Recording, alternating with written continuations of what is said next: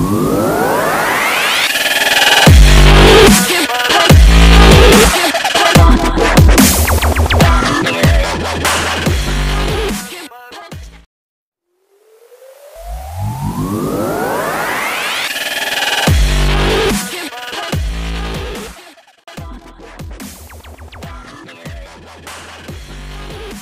The Chevrolet Camaro GT4.R is the ZL11-liter E outfitted for racing. The Chevrolet Camaro GT4.R will debut this weekend at the Pirelli World Challenge Racing Street Petersburg, Florida.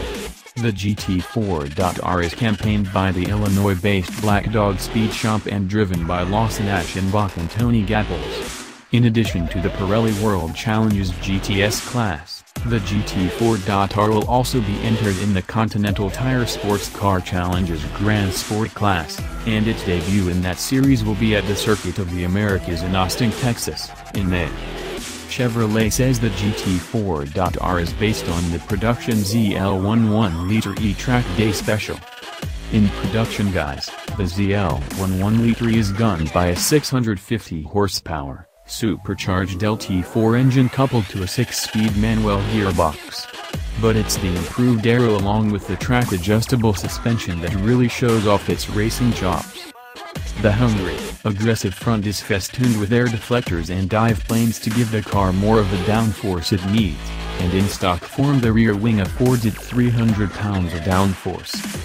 The production ZL11-liter E even features Multimatic dynamic suspension spool valve dampers that give it five-lane adjustable ride height and camber.